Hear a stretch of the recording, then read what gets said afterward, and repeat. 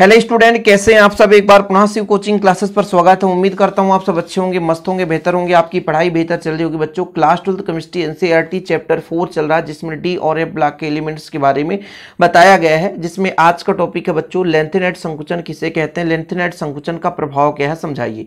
काफ़ी important question है board exam के लेवल से बच्चों, क्योंकि आप लोगों को पता है कि इस चैप्टर में दो चार ही ऐसे क्वेश्चन है जो कि एग्ज़ाम में पूछे जाते हैं, इसलिए आप लोगों को प्लीज़ मैं आप लोगों से बार बार रिक्वेस्ट करता हूँ कि ऐसे प्रश्न बिल्कुल आप ना छोड़ें। चलिए, शुरू करते हैं। संकुचन मतलब होता है आकार में कमी होना। सीधा फंडा, आप यदि परिभाषा देखेंगे तो एक लाइन में क्लियर हो जाएगा। लेंथेनाइड के परमाणु क्रमांक के बढ़ने के साथ साथ उनके परमाणु आयनों के आकार में कमी होती है। इसे ही लेंथेनाइड संकुचन कहते हैं। जैसे आप लोगों ने पढ़ा होगा बच्चों कि बाएँ से दाएँ चलते हैं तो हमेशा आकार में कमी होती है। आकार में कमी होती है, उसके त्रिज्या में कमी होती है। इसके पीछे का रीजन क्या है? इसके पीछे का कारण क्या है? सबसे पहले मैं आपको बता दूँ कि जो लेंथेनाइट समूह कहाँ से स्टार्ट होता है बच्चों तो लेंथेनम के बाद से। लेंथेनम के बाद के चौदह तत्व तो आपके लेंथेनाइट समूह के तत्व कहलाते हैं। यदि बच्चों, मैं इसका कहूँ कि आप लोग बताओ इलेक्ट्रॉनिक विन्यास तो आप कहोगे आपका ये जेनान है। जेनान के बाद आपके तीन इलेक्ट्रॉन बचते हैं तो फाइव डी वन होता बच्चों, और सिक्स एस टू इलेक्ट्रॉन ठीक है? यहाँ पर, क्योंकि परमाणु क्रमांक इसका संतावन होता है। यदि मैं आपसे कह दूँ बच्चों कि तीन इलेक्ट्रॉन ये दे दे थ्री पॉजिटिव तो ये आयन की अवस्था में हो गया। ये आपका सीधा परमाणु हो गया और ये आयनित अवस्था में हो गया, ठीक है?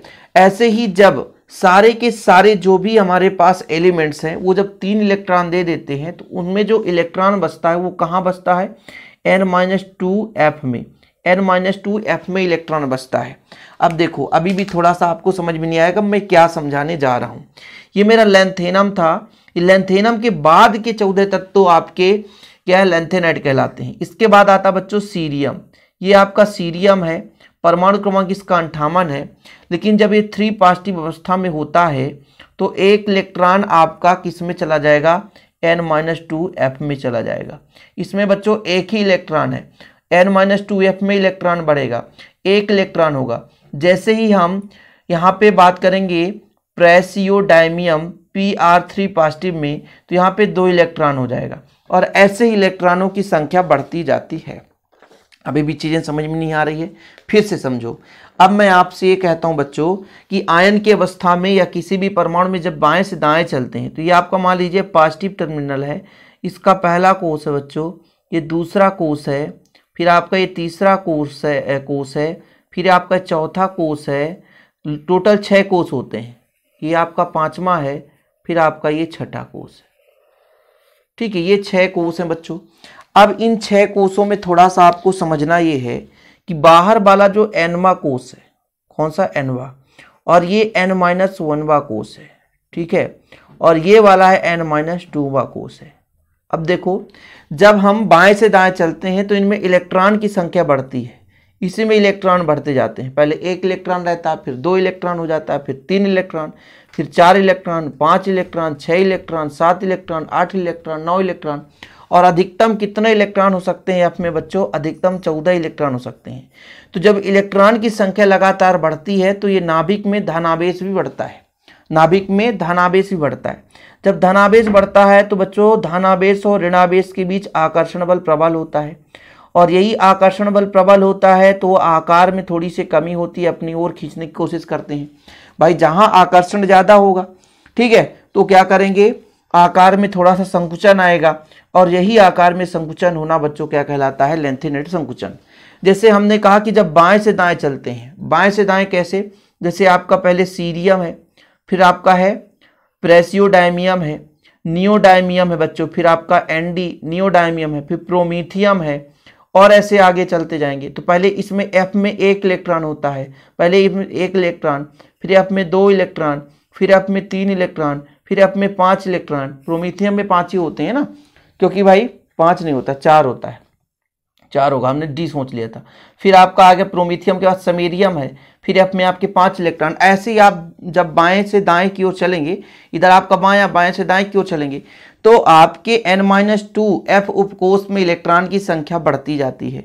और जब इलेक्ट्रॉन की संख्या बढ़ती जाती है बच्चों तो नाभिक का आकर्षण बल बढ़ता जाता है। और नाभिक का आकर्षण बल यदि बढ़ गया तो कहीं ना कहीं उसके आकार में क्या आएगी?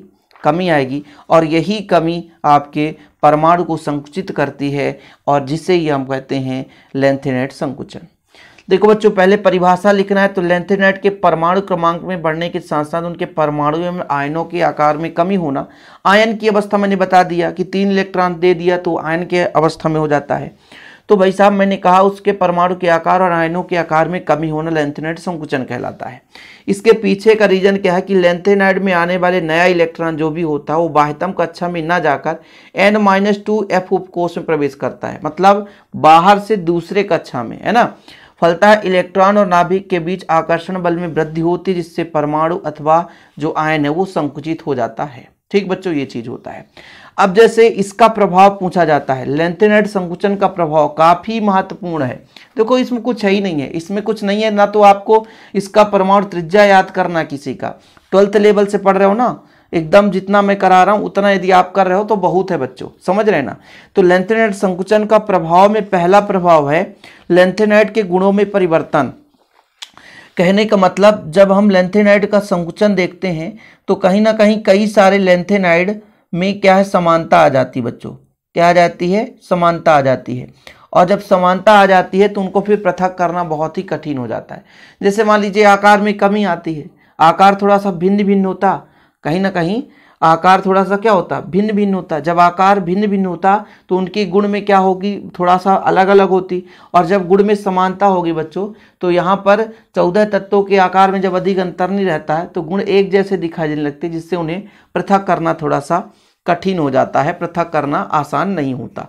अब जैसे इसके प्रभाव में ये भी है, जैसे आपका श्रेणी होता है ना, फोर और फाइव संक्रमण श्रेणी, दोनों तत्वों की त्रिज्याएँ समान हो जाती है। अब आप कहोगे, सर, ये डी वाला कहाँ से फंडा आ गया? तो मैं आपसे बताता हूँ, ये जो आपका थ्री पहले आपका क्या होता है बच्चों? थ्री फिर ये फोर फिर आपका फाइव यही ना होता है, three D, four D, five D. तो जब मैं ऊपर से नीचे चलता हूँ, थोड़ा देखिएगा, जब मैं ऊपर से नीचे चलता हूँ तो कहीं ना कहीं आकार में कमी आती है। क्या आती है? आकार में वृद्धि होती है, सॉरी। थोड़ा समझिएगा, आकार में वृद्धि होती है। लेकिन ये जो फाइव डी श्रेणी होता है, इसी में होता है लेंथेनम समूह। ठीक है, ये फाइव डी श्रेणी होता है, इसी में चौदह तत्व तो लेंथेनम समूह के होते हैं। तो चूँकि आप लोगों को पता है कि इस लेंथेनम समूह में आकार में कमी आती है तो लगभग फोर डी श्रेणी के समान हो जाता है। तो कहीं ना कहीं लेंथेनाइड संकुचन के कारण फोर डी और फाइव डी श्रेणी में दोनों में त्रिज्या की समानता हो जाती है। ठीक है, ये इसके प्रभाव है बच्चों, कि जैसे ये आकार में कमी आती है तो मैंने आपको क्या कहा? भाई, थोड़ा समझने की कोशिश करो। मैंने ये कहा कि आपका होता है थ्री डी, फोर डी, फिर फाइव डी, फिर सिक्स डी। इसमें ही लेंथेनम के बाद के चौदह तत्व आते हैं। इसमें एक्टीनियम के बाद के चौदह तत्व आते हैं। अब जैसे ऊपर से नीचे चलते हैं तो आकार में वृद्धि होती है। आकार में वृद्धि होती है, क्योंकि कोष की संख्या बढ़ते हैं। लेकिन इसमें क्या हो जाती है? संकुचन। इस संकुचन के कारण फोर और फाइव दोनों की जो बच्चों त्रिज्याएँ लगभग समान आकार की हो जाती हैं। तो आपको मुख्य रूप से दो तैयार करना है। पहला लेंथेनाइट के गुणों में परिवर्तन।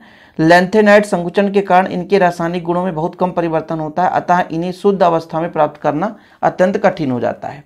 अगला है अन्य तत्वों के गुणों पर प्रभाव। लेंथेनेट संकुचन का लेंथेनेट के पूर्व आने वाले तथा इनके बाद आने वाले तत्वों के अपेक्षित गुणों पर बहुत महत्वपूर्ण प्रभाव पड़ता है।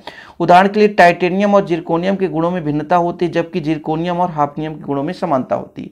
मतलब गुण भी परिवर्तित हो जाते हैं। ठीक है? आगे पीछे जो भी एलिमेंट्स होते हैं ना, उनके आधार पर। भाई, अपने आप में समानता दर्शाते हैं, लेकिन दूसरे से तो कहीं ना कहीं भिन्न हो जाते हैं, ये चीज़ बताया गया तो दो प्रभाव आप लोग तैयार कर सकते हैं, और एक ऐसा भी लिख सकते हो कि भाई, फोर और फाइव श्रेणी के संगमण तत्वों में त्रिज्याओं की समानता हो जाती है। फोर जो श्रेणी है, और फाइव डी लेंथनेट संकुचन के कारण इनकी त्रिज्या लगभग समान हो जाती है। तो इतना आपको तैयार करना, ज़्यादा लंबा चौड़ा है नहीं। उम्मीद करता हूँ कि आप लोग समझ गए होंगे लेंथनेट संकुचन क्या कहलाता है। ट्वेल्थ के लेवल से इतना काफ़ी है। अब कोई थोड़ा सा एक्स्ट्रा लेवल पढ़ेगा भैया तो अभी तो मैं ट्वेल्थ लेवल ही पढ़ाता हूँ, लेकिन आप लोग विधिवत तैयारी बस करते चलें, ओके? आज के लिए इतना ही। वीडियो पसंद है तो लाइक करके शेयर कर दे। डिस्क्रिप्शन पे ऐप का लिंक मिल जाएगा, शिव कोचिंग क्लासेस के नाम से। प्ले स्टोर से आप डाउनलोड कर सकते हैं। इसका यदि व्हाट्सअप में नोट्स लेना है तो कॉन्टैक्ट नंबर मैं दे दूँगा आपको, छियानवे पचासी उनतीस, इक्यानवे उनचास। छियानवे पचासी उनतीस इक्यानवे उनचास इस नंबर पर आप कॉन्टैक्ट करके नोट्स ले सकते हैं। आज के लिए इतना ही। मिलते हैं वीडियो के साथ बच्चों। जय हिंद। वंदे मातरम।